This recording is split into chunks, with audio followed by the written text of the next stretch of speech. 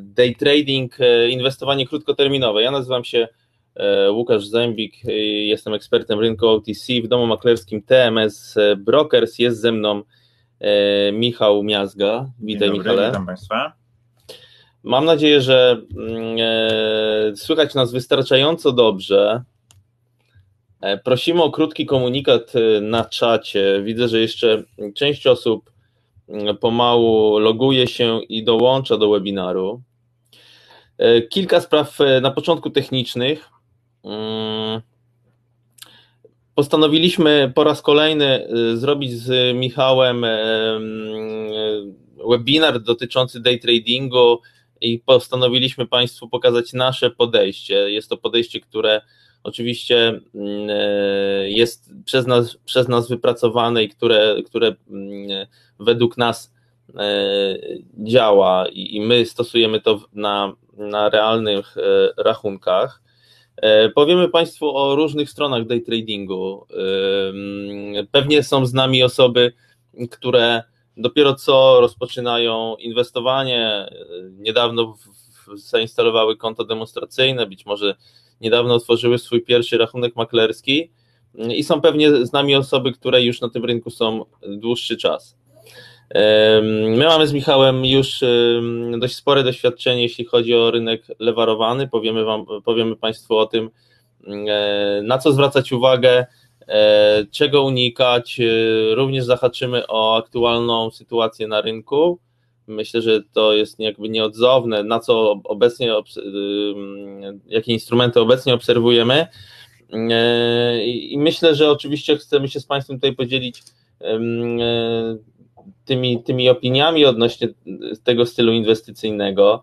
Wiemy, że jest on e, stylem inwestycyjnym wybieranym przez przez większość osób, inwestorów wybierających rynek lewarowany. E, Ja wiem dlaczego, pewnie, pewnie Michał też wie dlaczego i Państwo być może też mm, podświadomie wiedzą, wiedzą dlaczego. E, Zaczyna się już, pan Michał pytał, o której się zacznie, już dwie minuty trwa webinar. Ostatnia kwestia techniczna, myślę, że webinar potrwa około 45 minut. Przez część teoretyczną, e, która moim zdaniem jest bardzo istotna, przejdziemy mam nadzieję sprawnie, a potem przejdziemy do wykresów, do tego, na co my zwracamy uwagę. Te osoby, które e, mnie już znają z innych webinarów, e, wiedzą mniej więcej, na co ja zwracam uwagę, więc być może mój styl inwestycyjny będzie dla Państwa e, już znajomy i niczym Państwa nie zaskoczy, ale mam nadzieję, że zainspiruje do nowych transakcji. Także rozpocz, rozpocznijmy dzisiejszy mm, webinar. E, czym jest w ogóle day trading i e, dlaczego w ogóle day tradingiem się zajmujemy. Michale, dlaczego w ogóle wybrałeś day trading e, i, uważasz, że w tym stylu inwestujesz, tak?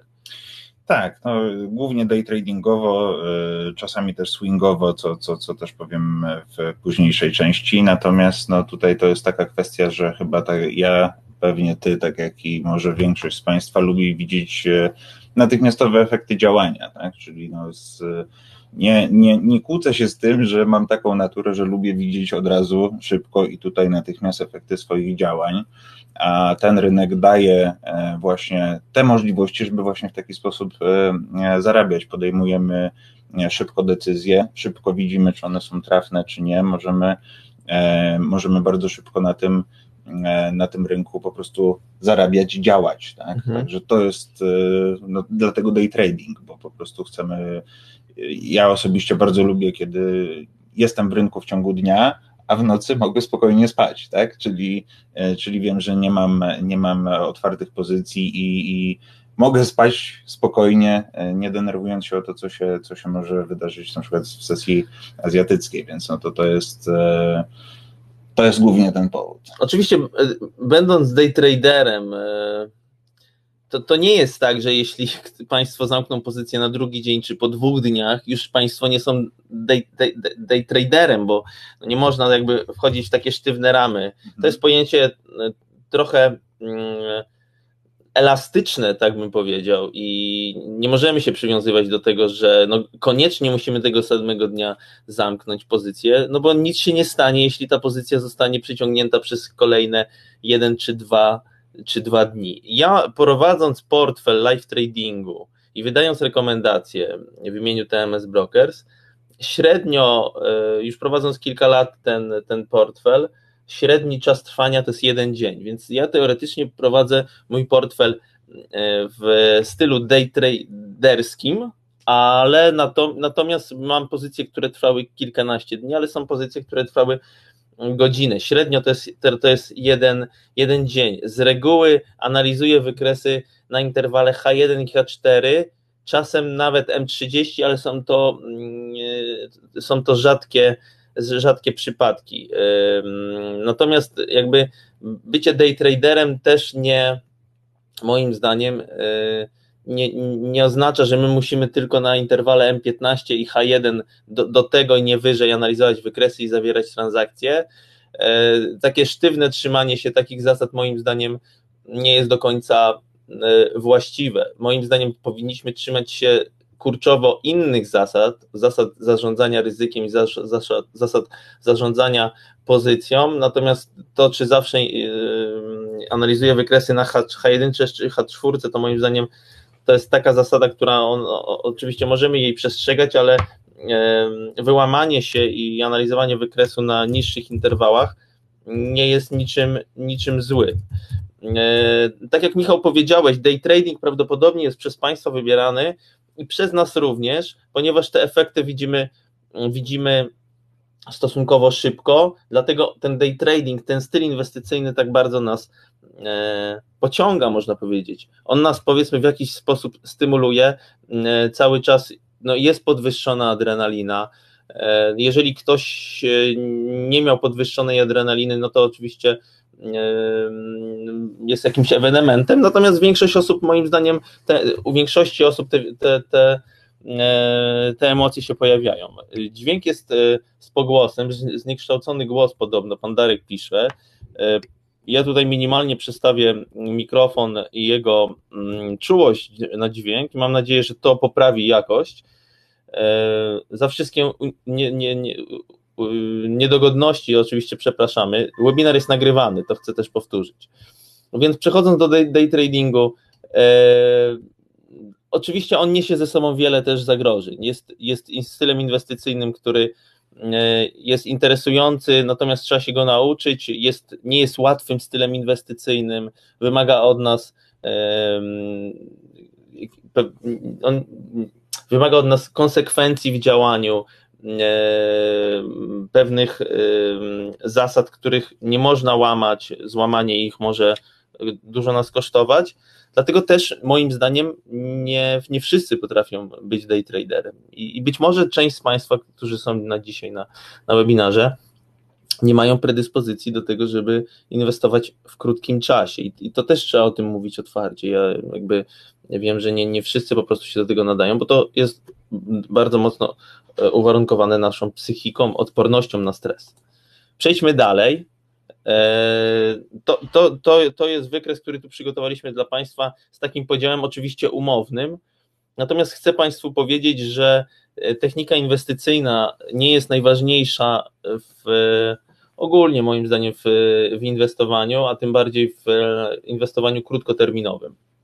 E, zarządzanie kapitałem i psychologia to są te elementy, które jeśli dobrze opanujemy, to nawet przy takiej średniej technice inwestycyjnej nie będziemy jakimś super, super traderem, nie będziemy mieli 90% skuteczności, to nasza krzywa kapitału będzie dodatnia. To jest moje, to są moje wnioski wyciągnięte po y, inwestowaniu na własny rachunek i po inwestowaniu na, na portfelu TMS Brokers w projekcie Live Trading, który trwa już ładnych parę lat. Tak, ja tutaj bym e, dopowiedział, że jeżeli chodzi o tą technikę inwestycyjną, to w moim przypadku ona e, miała szalenie ważny, e, ważną, szalenie ważna była z tego względu, że bardzo mi to przeszkadzało w osiągnięciu stabilizacji na rynku. Dlaczego? Dlatego, że długo mi zajęło kwestia zrozumienia, że technikę inwestycyjną trzeba mieć jedną. E, czyli popełniałem e, błąd, chyba nie wiem, czy, czy, czy Państwo się z tym zetknęli, prawdopodobnie tak, że zawsze coś mi się wydawało, czyli jeżeli inwestowałem na podstawie jakiejś strategii i tym bardziej jeżeli miałem nietrafną transakcję, za chwilę chciałem być znowu w rynku i korzystałem z czegoś zupełnie innego, co znałem, ale to było zupełnie, zupełnie inną strategią, inną techniką inwestycyjną, co mnie właśnie prowadziło do niestety czasami stratnych transakcji kilku pod rząd, ze względu właśnie na to, że ta psychologia i zarządzanie kapitałem, to o tym powiemy troszeczkę więcej za chwilę. Natomiast e, dlatego bardzo dużo i tutaj Państwo muszą nam wybaczyć, że E, że na tym się skupiamy bardzo, ale ta kwestia psychologiczna, my jesteśmy tutaj z Łukaszem zgodni w tej kwestii, jest kluczowa, bo technikę inwestycyjną każdy z Państwa ma różną i jeżeli chodzi o ilość transakcji, czy podstawę, na jakiej Państwo podejmują decyzje, no ilu traderów, tyle jest tak jakby strategii, tak? Ważne, żeby się trzymać tej jednej swojej. My tutaj ze, ze swojego punktu widzenia, zarówno ja, jak i Łukasz pokażemy, jak my patrzymy na rynki, na co my zwracamy uwagę, jak e, my zawieramy te transakcje. Pokażemy przykłady, natomiast właśnie ten aspekt psychologiczny jest kluczowy, czyli po prostu, żeby wiedzieć, że, że jeżeli tą technika inwestycyjna jest ważna, ale to, co tutaj teraz Państwo widzą, jeżeli chodzi o całość tego sukcesu, to musimy połączyć wszystko, tak? Czyli to właśnie w jaki sposób w jaki sposób działamy, jaką mamy strategię inwestycyjną, e, to w jaki sposób zarządzamy kapitałem, bo to też jest e, e, kluczowa kwestia. I najważniejsze, i, i, i tutaj ja sobie radzę, to też Państwu tak powiem od siebie, radzę sobie w taki sposób, że mając swoją strategię inwestycyjną, mam wypisaną tak zwaną checklistę, gdzie po prostu jeżeli nie, nie ma trzech wymienionych przeze mnie punktów, czyli tych, e, tej strategii, którą Państwu pokażę później, jeżeli nie występuje chociażby jedna z tych, e, z tych e, punktów, nie mogę jej zaznaczyć, tak? Tak jakby krzyżykiem, że po prostu ona jest, po prostu nie wchodzę w rynek. I do te, to, to mi bardzo dużo zajęło kwestia po prostu takiego mentalnego, mentalnego przygotowania się do tego, żeby żeby się trzymać tej swojej strategii inwestycyjnej po prostu bez odchyleń. Jasne. Ważna jest ta organizacja handlu też. Musimy wiedzieć, kiedy tradujemy. Jeżeli mamy czas, żeby tradować rano, to róbmy to. A jak już robimy i tradujemy rano i niestety nie, nie poszło nam, dzień zaliczamy do stratnych, to wracając z, z po pracy, nie zawierajmy transakcji na siłę, tylko poświęćmy go rodzinie i odpocznijmy, bo jutro też będzie kolejny poranek e, i być może no, jutro będzie lepszy dzień. E, e, nie można się też w tradingu zatracić. To, to, jest, to jest kluczowe i to jest jedno z takich, mm, z takich zagrożeń.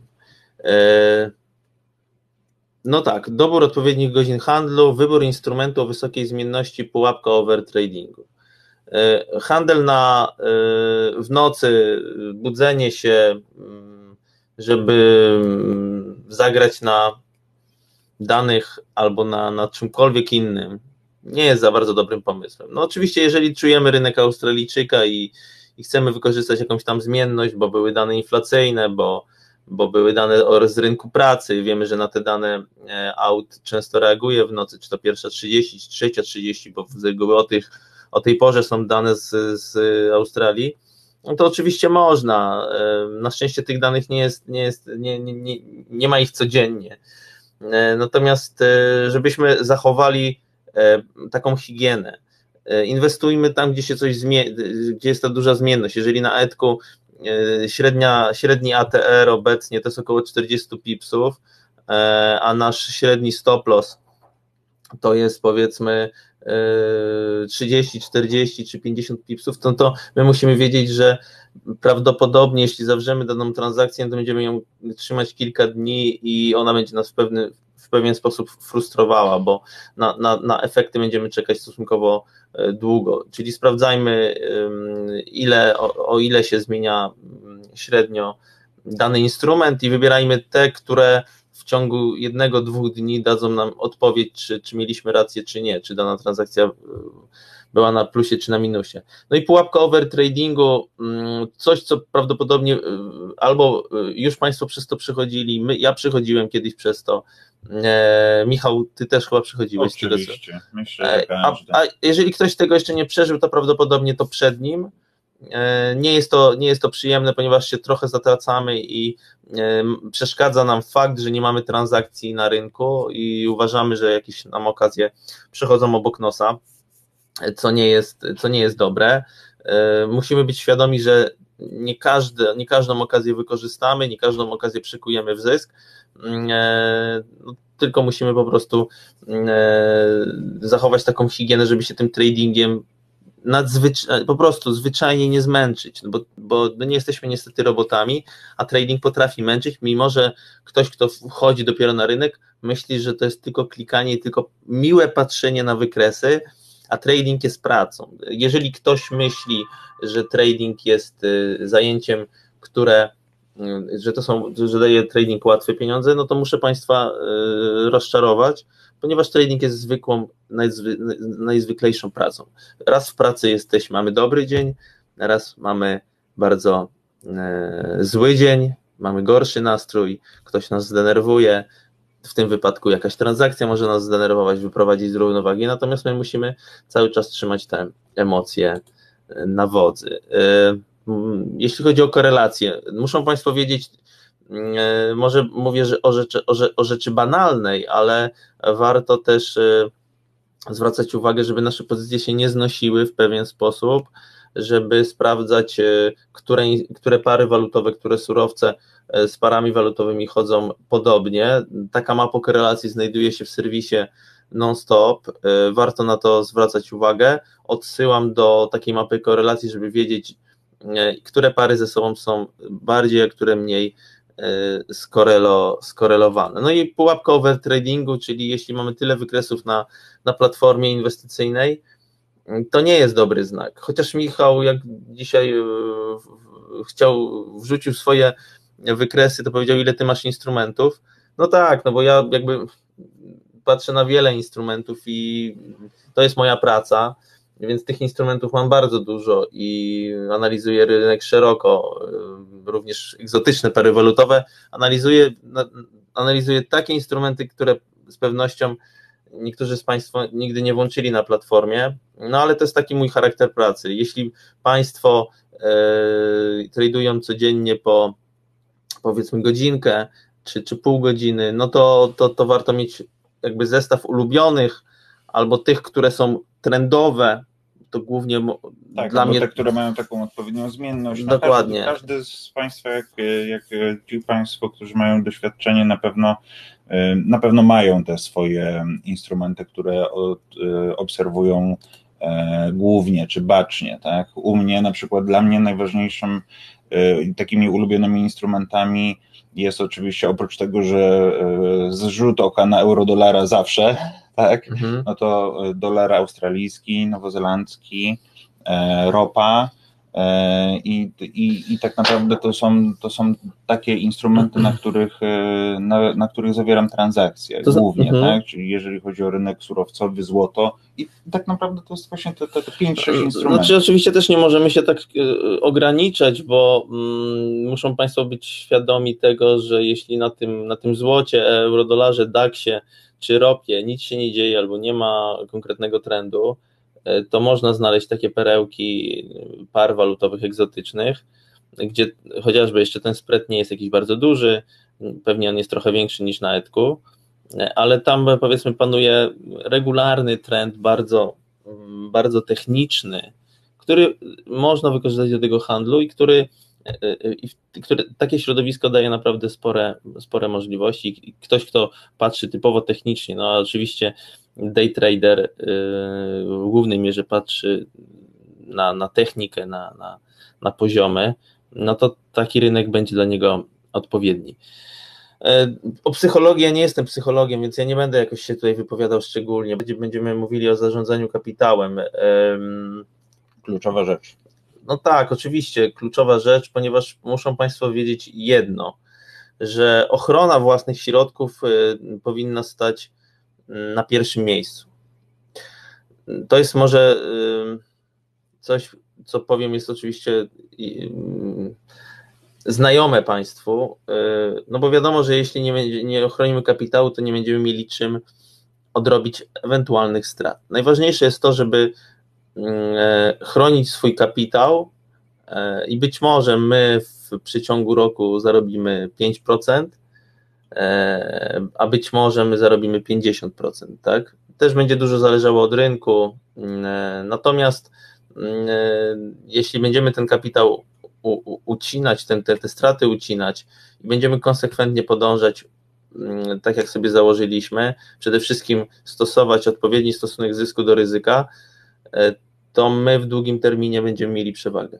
Tak, bo my, drodzy Państwo, na przykład dla, dla naszych klientów mamy e, taką e, sekcję specjalną, dedykowaną dotyczącą rekomendacji z naszej strony.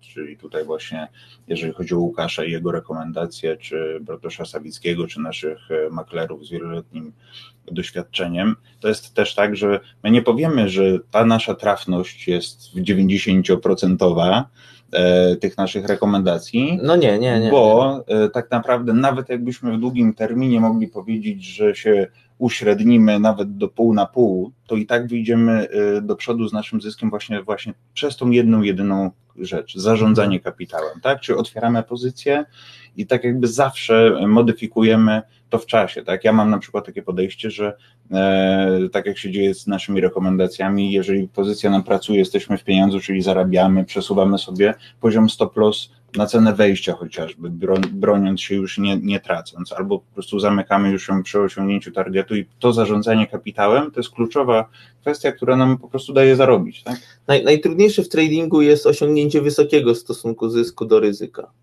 Czyli co to jest w ogóle stosunek zysku do ryzyka? Mm, to jest to, ile ryzykujemy i ile bierzemy z danej transakcji.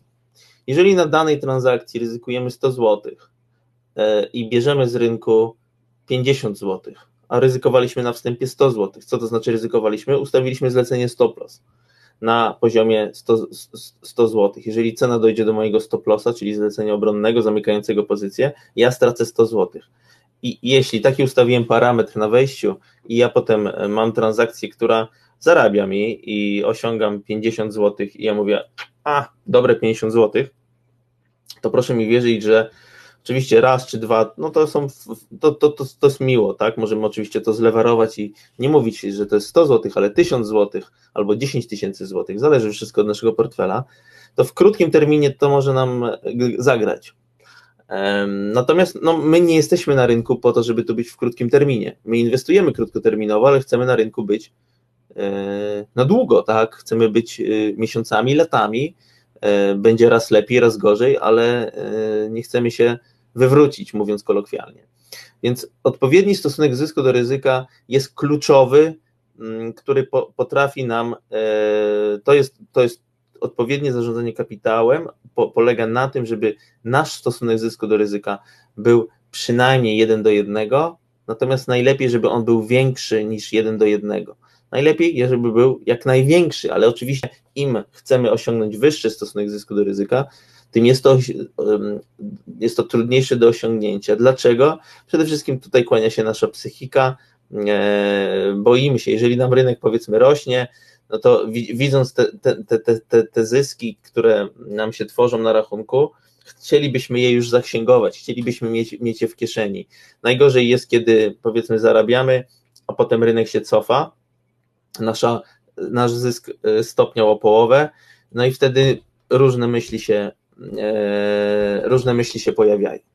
Stosunek zysku do ryzyka 2 do 1, no to oczywiście ryzykuję 100 zł, biorę z rynku 200 zł, 3 do 1 analogicznie, więc ja tego nie będę mhm. dłużej tłumaczył, tylko chciałbym Państwu pokazać, że tu są trzy modele, takie trzy modelowe portfele, e, stosowanie 1 do 1, co oznacza na 10 transakcji że jeśli chcemy być na plusie, to 6 musi być zyskownych. Jeśli, żeby, było plus 200. E, to samo, jeśli stosujemy sztywny stosunek zysku do ryzyka 2 do 1, no to automatycznie nasza skuteczność będzie mniejsza. Natomiast transakcji zyskownych musimy mieć tylko 4. Również będziemy na takim samym plusie. Natomiast jeśli będziemy na sztywno mieli 3 do 1, no to naszych transakcji zyskownych musimy mieć tylko trzy, wówczas też będziemy na plusie. Czyli im wyższy stosunek zysku do ryzyka, tym prawdopodobieństwo, że nasza trafność będzie mniejsza, jest ogromne. Niemalże to idzie jakby odwrotnie. E, jest odwrotnie skorelowane. Wyższy stosunek zysku do ryzyka oznacza, że nasze transakcje będą e, mniej, znaczy nasza technika będzie mniej trafna. To tak w skrócie. Mam nadzieję, że to Państwo rozumieją. E, Michał, czy masz coś do dodania? Nie, możemy iść dalej, bo tutaj widzę, że Państwo się bardzo niecierpliwią. Natomiast no tutaj kwestia, na przykład ja osobiście stosuję tą, ten cel 2 do 1, w tym się, w tym się bardzo dobrze czuję, tak? Czyli tutaj też E, ja Państwu opowiem o tym, w jaki sposób, e, w jaki sposób wchodzę w transakcje, jak, e, jak działam i jak właśnie to tutaj, tak jak Państwo widzą, jeżeli, jeżeli ustawiamy poziom stop loss, mamy cenę wejścia, to po prostu odkładamy sobie tyle razy tą, tą wielkość, ten, ten, tą szerokość tego spreadu pomiędzy ceną wejścia a stop lossem i, i ten target mój to jest 2 do 1. Dokładnie, no każdy ma swój target. E, o, proste określenie targetu pokazujemy Państwu na, na wykresie. E, mam nadzieję, że to jest, że to nie wymaga, że to nie wymaga żadnego komentarza. Ja jeszcze chciałbym na końcu, e, zanim przejdziemy do praktyki, pokazać mniej więcej, jak wygląda moja trafność na portfelu live trading który prowadzę od kilku lat, to jest y, około 50%, a nawet obecnie około 49%. Tam jest zysk około 20, niecałe 20%, e, ale trafność jest na poziomie około 50%. W przypadku, gdybym mm, stosował zawsze stosunek zysku do ryzyka e, sztywny 2 do 1, zawsze, czyli zawsze biorę dwa, dwa razy więcej niż ryzykowałem, albo biorę stop loss, czyli albo tak, albo tak, wówczas moja skuteczność spadłaby do 38%.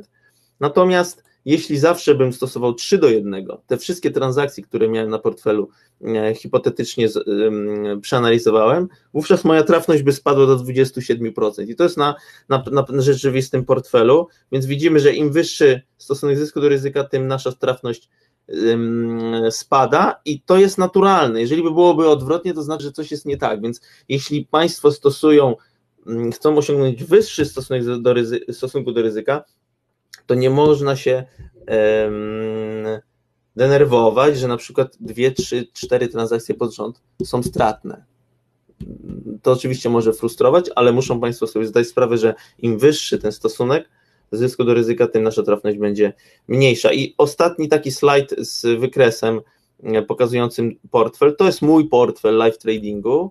Natomiast hipotetycznie, ja nie, nie mam tam sztywnego e, założonego stosunku zysku do ryzyka, tylko z reguły zamykam transakcje po cenie, e, po cenie rynkowej. Raz jest to 2 do 1, raz jest to 1,5 do 1, raz jest to 1 do 1. E, no to proszę zauważyć, gdybym trzymał się 2 do 1 zawsze, byłbym na wyższym plusie, 3 do 1 to również byłoby, mm, był, byłby Mm, wyższy, wyższy wynik. E, więc to pokazują po prostu zwykłe, zwykłe badania. Zarządzanie pozycją od czego zależy? No to w trzech takich żołnierskich słowach. Zawsze ustawiamy stop loss. Na czym polega? Oczywiście model aktywnego zarządzania pozycją, e, czyli jesteśmy długo przy rynku, mamy sporo czasu i często mamy dostęp do tego rynku, możemy go, możemy powiedzmy w każdej godzinie spojrzeć, co się dzieje na wykresie, albo e, ustawiamy parametry zlecenia stałe i one są święte, tak? Stały stop loss, stały, stały e, na przykład take, take profit. Mamy 18.30, więc pomału przechodzimy do, do praktyki. 10 zasad day tradera. Myślę, że powinni sobie Państwo je zapisać albo przeczytać przynajmniej. I jeśli ktoś z Państwa jest, uważa siebie za day tradera, niech sobie samemu odpowie, odpowie przed lustrem, ile z tych zasad um, już zrealizował albo realizuje. Albo nad którymi trzeba popracować. Albo tak? nad którymi trzeba popracować. Jesteśmy tylko ludźmi, chcemy zarabiać, bo to jest nasz cel, wiadomo. Jeżeli połowę, jeżeli połowę to jest już ok, ale myślę, że większość osób. Mm, no nie ukrywajmy, ma problemy z, tym, z, z, z takim z, przestrzeganiem tych, tych zasad, tak jak, tak, jak, tak jak z dekalogiem.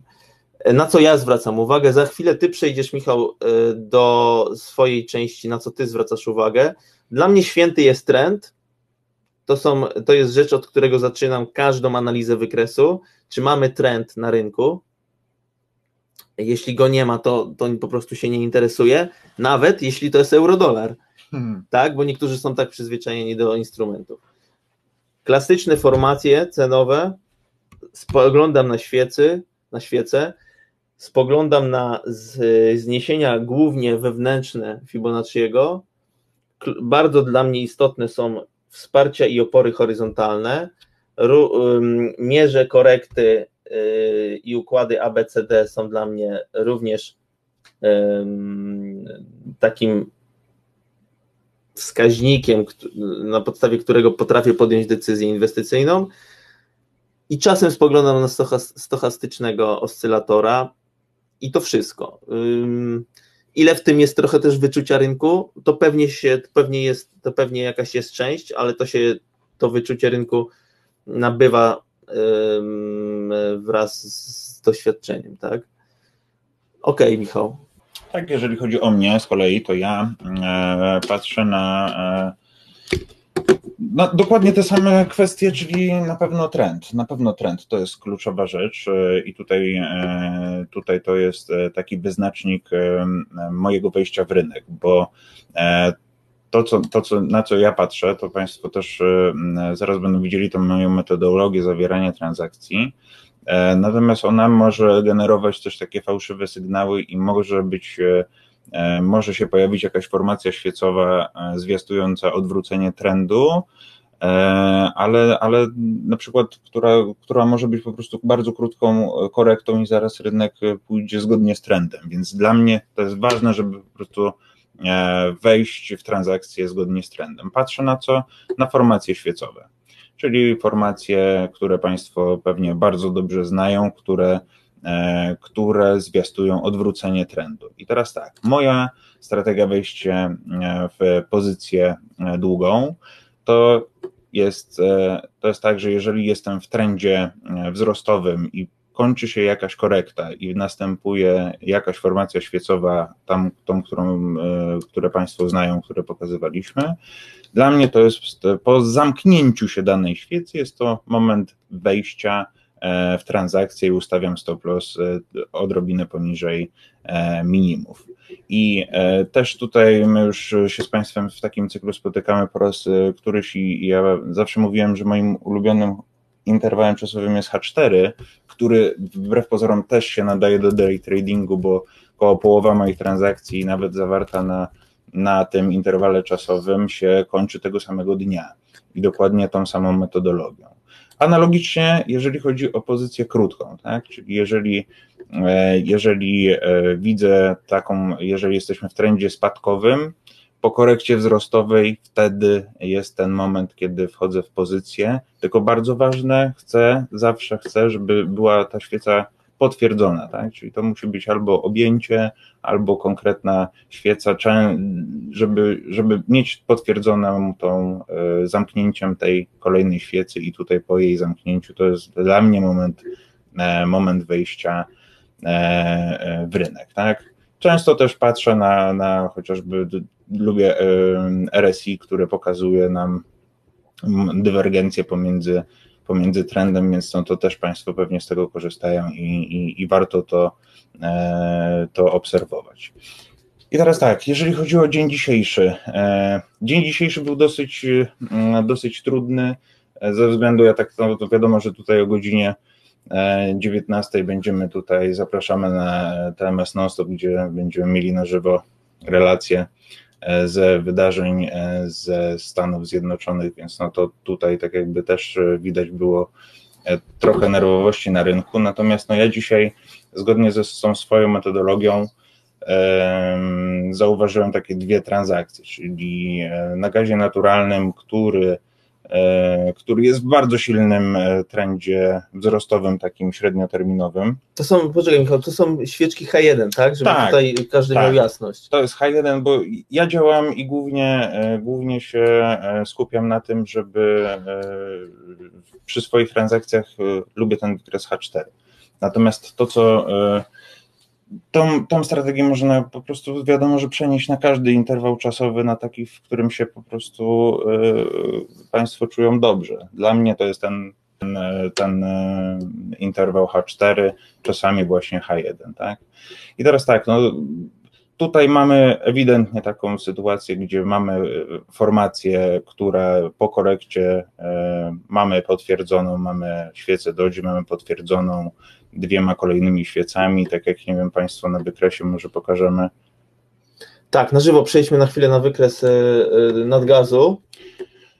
Tak, i tutaj jeżeli chodzi o, e, o nadgaz, no to, to tak jakby wyrysowałem sobie linię trendu wzrostowego i tak jakby to, była, to był ten moment taki, gdzie tutaj raz, że walczyliśmy z linią trendu wzrostowego wystąpiła ta formacja, którą Państwo widzą i tak jakby ten cel mój target, tak, czyli ryzykuję jeden tutaj po zakończeniu, po zakończeniu tej świecy e, zawieram transakcję kupna i ten cel 2 do 1 jest e, to jest mój target, tak? Mhm. Czyli, czyli e, no, tak to wygląda i to tak jakby na tym interwale czasowym można, e, można na to można tego używać. Kolejną kolejną, e, kolejnym dzisiejszym rynkiem, na który patrzyłem, no to też jeden z moich ulubionych, czyli rynek ropy. No to tutaj tak, e, to była godzina 13 dzisiejszego dnia, no to, to, to przekonała mnie ta świeca, bo, bo, bo miałem ambiwalentne odczucia co do, no bo chociażby kwestia, kwestia tego, tego trendu i no tak jakby tego sentymentu spadkowego mnie też przekonała i E, bardzo mocne e, objęcie i fajna formacja świecowa, która też jak, e, jak Państwo, jak Państwu tutaj mogę pokazać na, na wykresie H1, no to to też mnie de determinowała mnie, też, też patrzyłem tak jak Łukasz powiedział na cały rynek, jak sobie weźmiemy wykres H4, czyli to, co się dzieje tak jakby w dłuższym terminie. Byliśmy w sytuacji, w sytuacji takiej, że no mamy E, taki kanał, kanał e, wzrostowy, ale no dosyć e, tutaj od tego momentu jeszcze brakowało do jego przetestowania. To też mnie skłoniło do tego, żeby, żeby tutaj w tą pozycję na tym interwale czasowym H1 się, się zdecydować, tak? No to naprawdę była mocna świeca, która naprawdę po zamknięciu oczywiście było trochę nerwowości, tak? No bo bo wystąpiła trochę, jak Państwo zauważyli, większa zmienność, ale właśnie ta nasza większa zmienność i ten ryb na rynku daje nam właśnie tą przewagę, że możemy z tego naprawdę e, skorzystać. Tak? No że dobra, to, taki... to, tak, mamy ropę. Ja trochę, się, trochę wejdę w, w, w słowo, bo mamy już 18.38, a Bartek Sawicki zacznie relację o 19, a tak naprawdę to zacznie pan Powell. Wejdę w słowo, no bo oczywiście Michał na, patrzy na, w ten sposób na ropę. Ja tą ropę zauważyłem ostatnio mm, i ja powiem Państwu, w jaki sposób ja analizuję wykresy, co ja widzę obecnie na rynku ropy, na H4. E, ja oczywiście będę szukał zakończenia korekt. E, ja głównie gram koniec, korek, koniec korekty nie zawsze, ale głównie 90%, może 80% moich transakcji to jest szukanie miejsca, gdzie zakończy się korekta w danym trendzie. W tym wypadku na H4 mamy trend wzrostowy i ja analizuję ten oto trend wzrostowy, który rozpoczął się mniej więcej na początku października, czyli trwa miesiąc.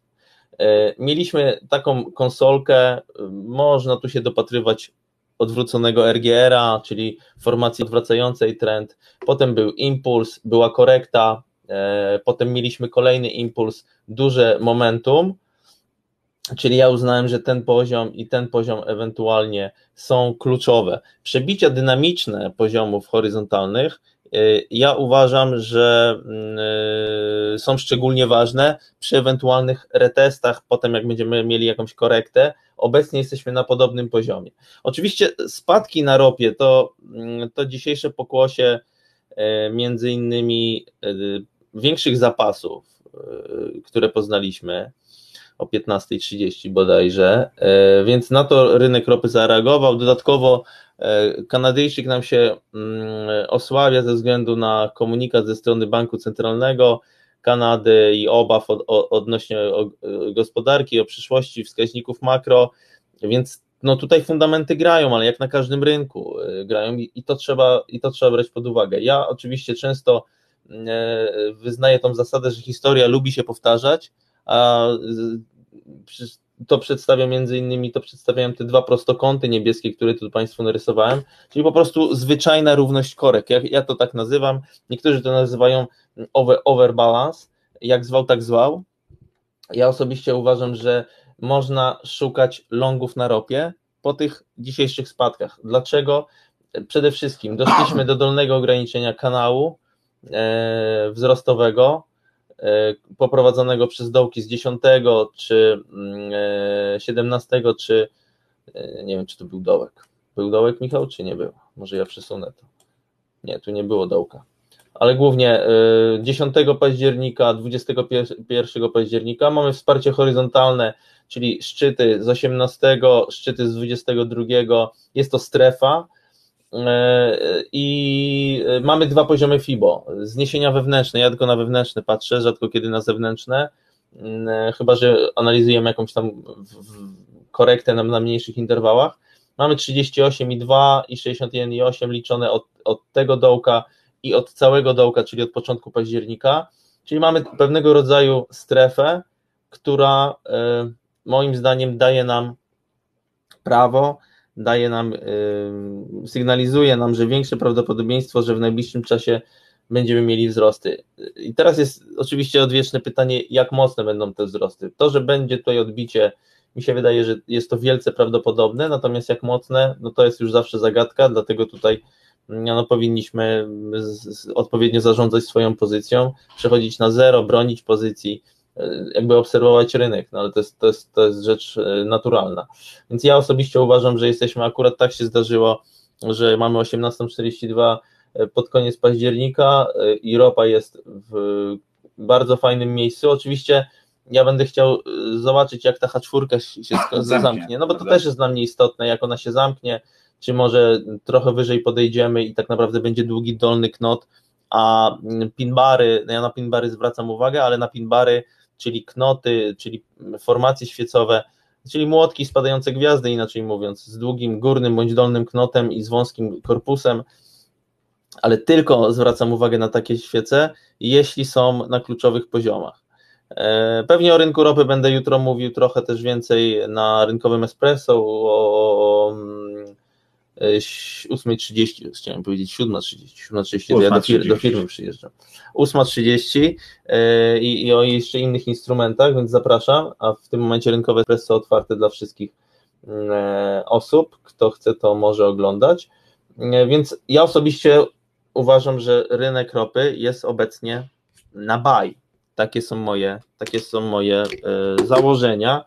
Nie wiem, czy nie wydam rekomendacji jutro, ale to dopiero oficjalnie, także na razie to nie jest żadna rekomendacja, e, żeby Państwo, no tutaj, żeby być z Państwem, żeby mieć tą jasność. Także to jest, oddaję Ci głos, Michale. Tak, no to jest, e, e, wrócimy do prezentacji, to jest kwestia, kwestia właśnie tego, w jakim horyzoncie czasowym patrzymy, tak, bo jeżeli powiemy o krótki ter, krótkim terminie, nawet jak widzieliśmy i patrzymy sobie na ten, na ten wykres, e, na ten wykres na horyzoncie H4 no i weźmiemy sobie e, ostatnie, załóżmy 5 dni, no to możemy powiedzieć, że przez te 5 dni byliśmy w tym trendzie spadkowym, tak? Takim bardzo krótkoterminowym. Średnioterminowo się jesteśmy, wznosimy się, więc pytanie właśnie na jakim, na jakim e, chcemy E, interwale czasowym mm, zawrzeć pozycję, tak? Bo dzisiejsza, no to, to H1 to jest dla mnie bardzo, bardzo e, day tradingowe. Jeżeli chodzi o to, co bym zrobił teraz, teraz w tym momencie, no to ja osobiście e, czekam do jutra i do rynkowego espresso, mhm. bo po prostu granie na, na, jeżeli chodzi o dane i czy analizowanie rynku przed danymi, to y, dla mnie to, to, to jest zbyt duże ryzyko osobiście, tak, którego się po prostu nie podejmuje. E, ktoś pytał, czy, czy zniesienia Fibonacciego, czy oscylator stochastyczny. Jedno i drugie, no bo ja oczywiście często jakby uzupełnieniem mojej analizy i tego, czy, czy podejmuję decyzję, jest jeszcze zerknięcie na oscylator stochastyczny. No i patrzę, co się obecnie dzieje. Na H1 mm, mamy e, blisko strefy e, wyprzedania, więc raczej w najbliższym czasie powinniśmy widzieć wzrosty. Jak duże tego nie wiemy. Natomiast na H4 widzimy, że możemy się jeszcze trochę tutaj mm, e, osunąć. Natomiast z drugiej strony, jeżeli ja zobaczę, proszę zauważyć, poprzedni dołek, tak, który oscylator w, na tej świecy dość głęboko wszedł w strefę wy, wy, wy, wyprzedania, czyli poniżej 20 punktów, a obecnie rynek jest niżej niż ten dołek i oscylator jest mimo wszystko wyżej, to mamy ewidentną dywergencję i tą, na tą dywergencję też bym chciał zwrócić uwagę, no bo tu mamy, proszę zauważyć, opad, y, coraz niższe, niższe dołki, natomiast oscylator ewidentnie pokazuje nam jakby coraz wyższe poziomy, więc dywergencja i strefy wykupienia wyprzedania są jak najbardziej przeze mnie yy, analizowane. Nie zawsze, ale zwracam na to uwagę. Jeżeli widzę ewidentną dywergencję, tu mogę powiedzieć, że jest ewidentna dywergencja. Yy, no zobaczymy, zobaczymy jutro, zobaczymy w najbliższych dniach, mogą mnie Państwo z tego rozliczyć. Mogę się mylić oczywiście, ale to jest moje, moje view i to mi wystarczy, żeby wydać rekomendację. Taki, mm, to co Państwu dzisiaj wyrysowałem tutaj, czyli mamy tak, w skrócie, kanał trendowy, równość korekt, czyli metoda over, over balance, mamy dwa zniesienia Fibonacciego, mamy poziom horyzontalny wyznaczony przez poprzednie szczyty i przebity dość mocno, na mocnej dynamice, duże, wysokie momentum. I mamy dywergencję pewnego rodzaju, co oczywiście nie pokazuje, że na 100% cena będzie rosnąć, no bo takiej pewności nie mamy. Staramy się oszacować prawdopodobieństwo za pomocą takich oto wskaźników. Też nie możemy się fiksować na wzrosty, no ale jeżeli ja określiłem, że mamy trend wzrostowy na H4, E, i mamy podobną korektę, no to, to większe prawdopodobieństwo, że będziemy, że będziemy w najbliższym czasie wyżej. Tak, i tutaj, e, tutaj, drodzy Państwo, to jest tak, że no, tak jak e, Państwo widzą, że bardzo, bardzo różnie Państwo do tego podchodzą. Różne mamy te, te takie podejścia i te, te, te interwały tak, pan, ja muszę się odnieść na chwilę do, do, do tego, co napisał Pan Przemek, że, że na M5, no jakby, Panie Przemysławie, Gdybym ja panu y, mówił o tym i analizował wykresy na M5, y, no to bym musiał panu powiedzieć jakąś taką nieprawdę i takie, takie y, to bym musiał naprawdę y, nie, nie byłbym wówczas y, prawdopodobnie e, fair z, z, własnym sumieniem, bo moim zdaniem nie da się y, tradeować na M5, bo jest to, jest to po prostu zwykły szum na M5. To jest moje zdanie, więc nie wiem, który day trader analizuje wykresy na M5. Jest bardzo dużo, bo podejrzewam takich traderów, e, tak mi się wydaje. E, ktoś tam wcześniej też e, fajnie zwrócił uwagę, że to jest tak jak rzut monetą, tak? Czyli jak zauważysz, że w długim terminie trafność swoich decyzji jest 50 na 50, jakbyś analizował rynek pewnie na M5, prawdopodobnie mhm. średnia by mogła być taka sama. No, Więc dla, dla, no. dla, nas jest kluczowe naprawdę na tym, na tym Państwu, to co chcemy Państwu przekazać, że e, kwestia tego zarządzania kapitałem to jest tak naprawdę, e, ja mam taką tezę, że to jest, e, to jest jedyny klucz do sukcesu. Tak, panie, znaczy, panie Przemysławie, żebyśmy byli, mieli tutaj jasność. Otwierając transakcję, analizując to na H4, to nie znaczy, że będziemy mieli transakcję tydzień. To ja myślę, że jeżeli ja jutro do transakcji otworzę, to ja prawdopodobnie tego samego dnia będę już w zysku, albo będę na stracie, albo będę miał 1 do 1, 2 do 1, albo będę na stracie. Ewentualnie powiedzmy w piątek nastąpi jakaś realizacja. Tak, to, to, to no też, też no, jakby, no, jakby, jeżeli byłbym specjalistą od hmm. M5, to bym pewnie, to bym pewnie o tym mówił. Natomiast ym, mówimy o naszych, ym, o, o, o, samej praktyce, o tym, jak my analizujemy wykresy, bo uważamy, że to jest również day trading. Tak? Day trading nie oznacza, że musimy ym, analizować wykresy na M5 albo M15. Jeżeli to się panu kojarzy z tym, że jest to dla Pana tożsame, no to jakby chciałbym Pana wyprowadzić wyprowadzić z błędu. Przede wszystkim na wyższym interwale pewne poziomy mają wyższą rangę, jakby są bardziej respektowane. Na M5 jakieś poziomy wsparcia, nie wiem pod co pan by chciał grać na M5. Na oscylator, który się zmienia, a raz jest wykupiony, raz wyprzedany, jakby tego nie wiem. Jakby ja nie, nie znam takiej techniki, która by tak super działała. A po drugie, jest to bardzo mocno angażujące. Oczywiście, ja myślę, że część rzeczy, które jako wykorzystuję na wysokim interwale, one działają na niższym interwale jak najbardziej, tylko y, pewnego rodzaju poziomy mogą działać bardzo krótkoterminowo, tak? Tam trzeba też być dużo, mm, dużo szybszym. Ja wydając rekomendacje, to nie wiem, nie wiem, czy pan sobie zdaje sprawę, że ja muszę naprawdę tutaj szereg rzeczy zrobić, żeby tutaj być zgodny z, zgodnym z regulaminem, więc to tak też jest trochę trochę i trochę. Mm, tak, szczególnie, że też Państwo sobie pewnie zdają sprawę, że samo pojęcie day, day tradingu może zawierać w sobie bardzo dużo, bo y, wiadomo, że są y, tacy z Państwa, którzy patrzą na ten M5, M15, czy nawet na M1 i na tej podstawie y, zawierają transakcje. No tylko, że no tak jak nasze metody, one są po prostu nasze. My mówimy ze swojego własnego doświadczenia. Dla mnie bardzo ważnym jest to, żeby żeby przekazać Państwu to, że tyle, ile ja stresu miałem przy otwartej pozycji i jak, jak ja się stresuję, ile musiałem czasu poświęcić na to, żeby, żeby sobie nad tym zapanować, y, chociażby taką checklistą czy, czy, czy takim dystansem do, y, do handlowania, to i to, to, to, to, to jest dla mnie kluczowa rzecz, czyli to zarządzanie zarządzanie kapitałem, y, bo nie wiem, no, rzucamy tą monetą i bez tego, że zarządzania kapitałem naprawdę nie osiągniemy sukcesu. E, dlatego no, to, to jest nasze, nasze indywidualne podejście, z którym po prostu e, mamy okazję i cieszymy się, że możemy się z Państwem z tym podzielić i też no, wiadomo, że co, co, co trader to, mhm. To jest jakaś, e, no, oczywiście. Jakaś inne podejście. Um, przygotowałem dla Państwa już nie, nie, nie, mm, nie na platformie, ale takie dość aktualne wykresy. To są jakieś stare rekomendacje, na które dzisiaj nie mamy czasu Chciałbym Państwu pokazać to, co obecnie widzę na GBP USD i na co, na co ja często gram. Mm, na, na, na GBP USD widać mm, cały czas jesteśmy w korekcie, w korekcie, która przyjęła formację ABCD, gdzie AB jest niemalże równy C, odcinkowi CD. Wyszliśmy z flagi i no oczywiście dalsze wzrosty będą dość mocno uwarunkowane tym, co się będzie działo w brytyjskim parlamencie, jak będą przebiegały, czy, czy do tych wyborów dojdzie, ale z tego co wiem, to, to raczej jest to wielce prawdopodobne.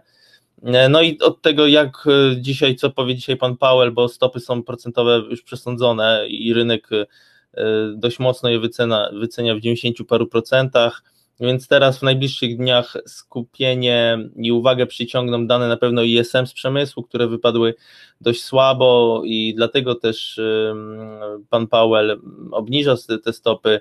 No i przede wszystkim raport z rynku pracy, więc dalsze wzrosty będą też na GBB USD będą tym determinowane, natomiast dość, dość ciekawy układ jest na, na GBB USD, ale licząc od tego punktu D, gdybyśmy to wcześniej potrafili zidentyfikować, to do obecnych poziomów to, to już jest tam ponad, ponad figurkę GBP USD e, zrobił, bo tak jak chciałem przypomnieć na GBB ogólnie na funcie sterlingu od w całym październiku ta zmienność jest stosunkowo wysoka i, i funt jest w dość silnym trendzie, trendzie wzrostowym. Dodatkowo na NZD USD e, widzę podobny układ. Mamy zakończenie korekty.